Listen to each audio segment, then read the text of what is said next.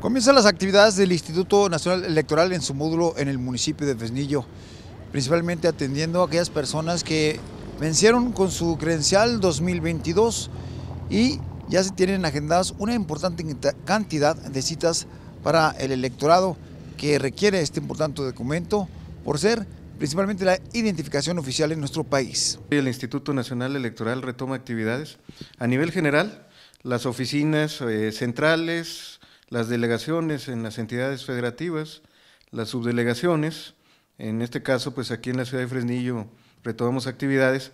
Y nuestros módulos de atención ciudadana no, son la excepción, tenemos dos en, aquí en la ciudad de Fresnillo, uno en Mercado Poniente y por supuesto el, de aquí del, centro de la ciudad, y tres módulos adicionales más que están atendiendo a, a los otros municipios que conforman el distrito.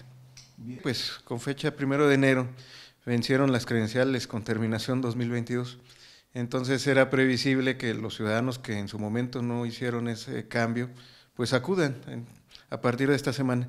Y sí, pues ya observamos un incremento significativo en el número de solicitudes. En caso de este módulo ya tenemos 300 citas agendadas para esta semana, cuando el promedio habían sido, si acaso, 100 en las semanas anteriores.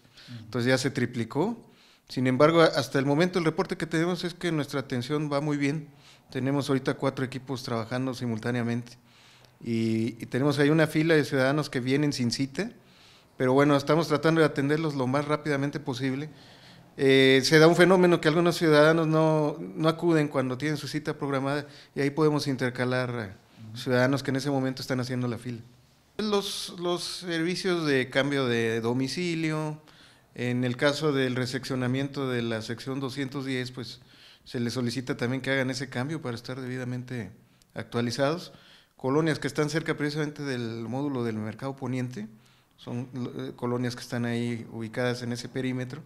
Y por ahí ya hemos ido a, incluso a entregar volantes para que tengan conocimiento de esa modificación.